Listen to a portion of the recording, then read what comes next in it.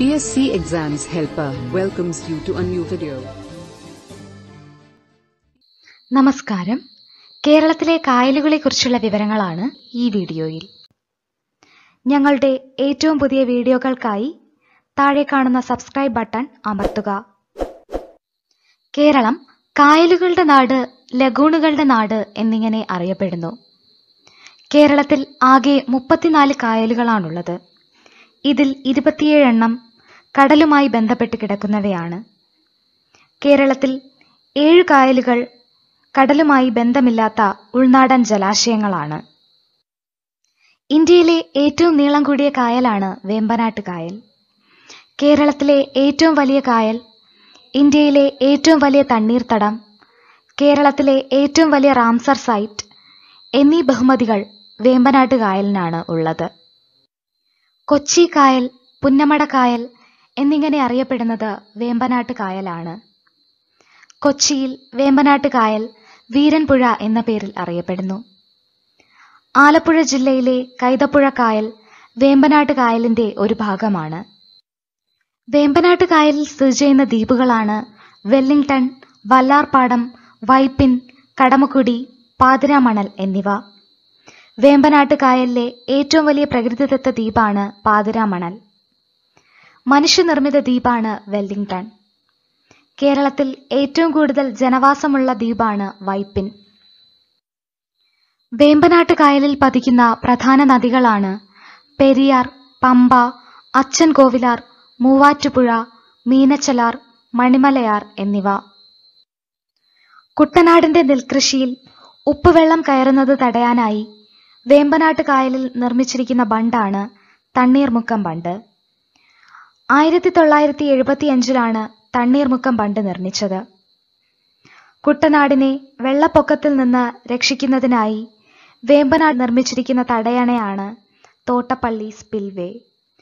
ആയിരത്തി തൊള്ളായിരത്തി അൻപത്തിനാലിലാണ് തോട്ടപ്പള്ളി സ്പിൽവേ നിർമ്മിച്ചത്.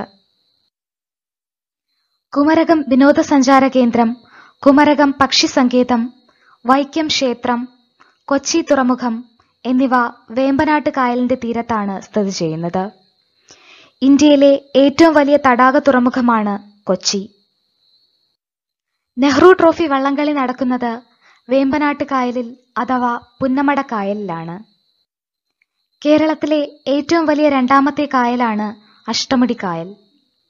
Gateway to the backwater of Kerala എന്നറിയപ്പെടുന്നത് അഷ്ടമുടി കായലാണ്. കൊല്ലം ജില്ലയിൽ സ്ഥിതി ചെയ്യുന്ന അഷ്ടമടിക്കായൽ പനയുടെ ആകൃതിയിലാണ് കാണപ്പെടുന്നത്. അഷ്ടമുടിക്കായൽ അറബിക്കടലുമായി ചേരുന്നത് നീണ്ടകര അഴിയിൽ വച്ചാണ്. കേരളത്തിലെ ആദ്യ സീപ്ലെയിൻ സർവീസ് അഷ്ടമുടിക്കായലിലാണ് ആരംഭിച്ചത്.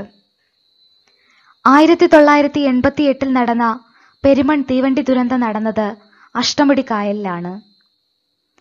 കല്ലടയാർ പതിക്കുന്നത് അഷ്ടമടിക്കായലിലാണ്. കായലിലാണ് പ്രസിദ്ധമായ പ്രസിഡൻസ് ട്രോഫി വള്ളംകളി അഷ്ടമുടി കായലിലാണ് നടക്കുന്നത്. കേരളത്തിൽ കടലുമായി ബന്ധപ്പെട്ട് കിടക്കുന്ന കായലുകളിൽ ഏറ്റവും വിസ്തീർണം കൂടിയതാണ് ബി എം കായൽ. ബി എം കായൽ മലപ്പുറം ജില്ലയിലാണ് സ്ഥിതി ചെയ്യുന്നത്. മൂരിയാട് കായൽ തൃശൂർ ജില്ലയിൽ സ്ഥിതി ചെയ്യുന്നു.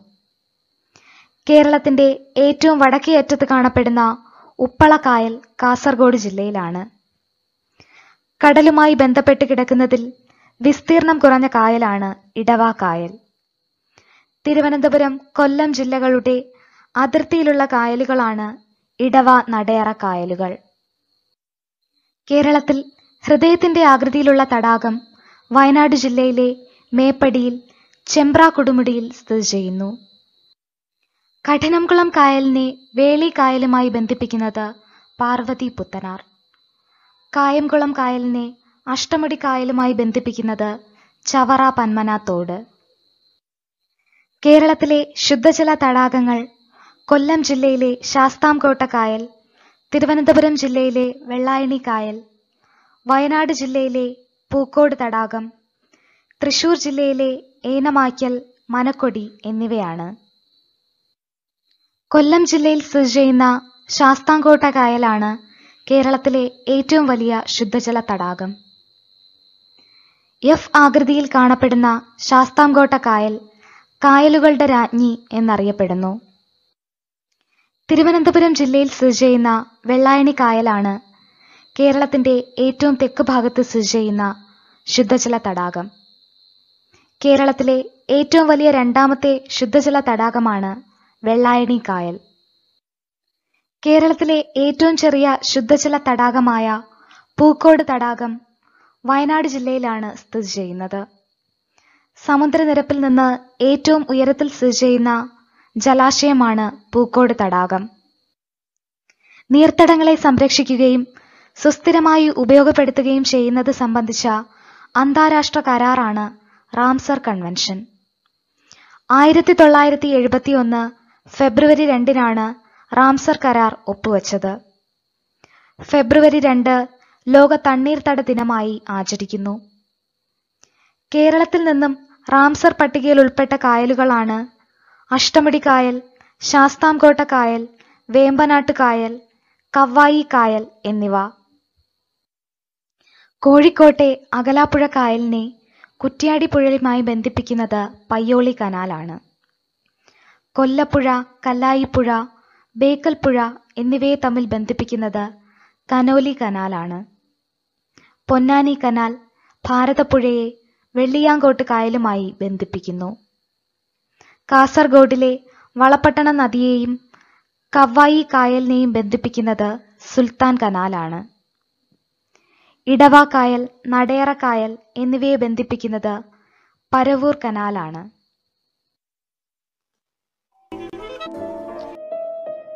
Please subscribe our channel PSC Exams Helper for more videos. Please subscribe our channel PSC Exams Helper for more videos.